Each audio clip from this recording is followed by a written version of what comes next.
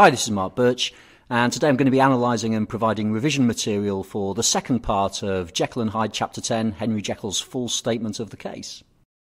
Stevenson continues Jekyll's philosophical reflections on the possible separation of the moral elements that constitute his identity.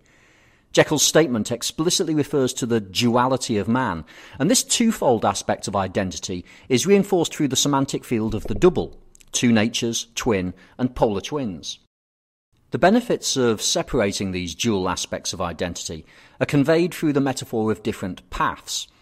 The unjust might go his way, free from the aspirations and remorse of the just, while the just could walk steadfastly and securely on his upward path. Jekyll is presented as believing that separation of the two aspects of identity, good and evil or just and unjust, would provide freedom for both elements to excel, walking a path free from the moral burdens imposed by the other half of their dual nature. Guilt acts as a burden to the unjust, while desire can make the just stray from their path. The adverbs steadfastly and securely reinforce the positive effects of the removal of the unjust characteristics in terms of the ability of the just to maintain their journey on the upward path. The philosophical considerations conclude with Jekyll stating that it was the curse of mankind that these incongruous faggots were thus bound together.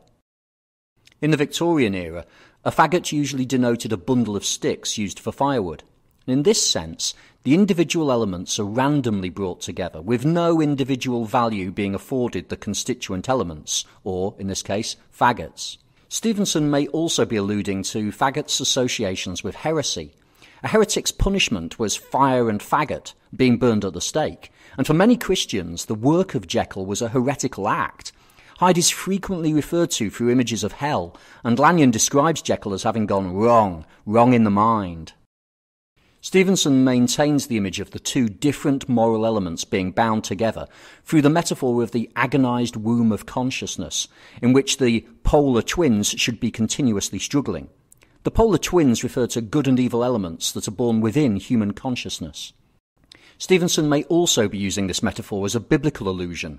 Genesis 25:23 states, "And the Lord said unto her, Two nations are in thy womb, and two manner of people shall be separated from thy bowels, and the one people shall be stronger than the other people, and the elder shall serve the younger."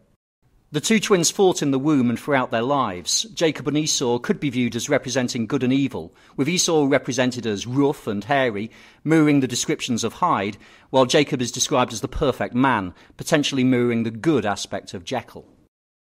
The descendants of Jacob and Esau, the Israelites and the Edomites, respectively, were enemies for generations to come, perhaps symbolizing the way in which the polar twins were continuously struggling in the human mind. For analysis of the rest of chapter 10, please see the remaining videos. Okay, ta.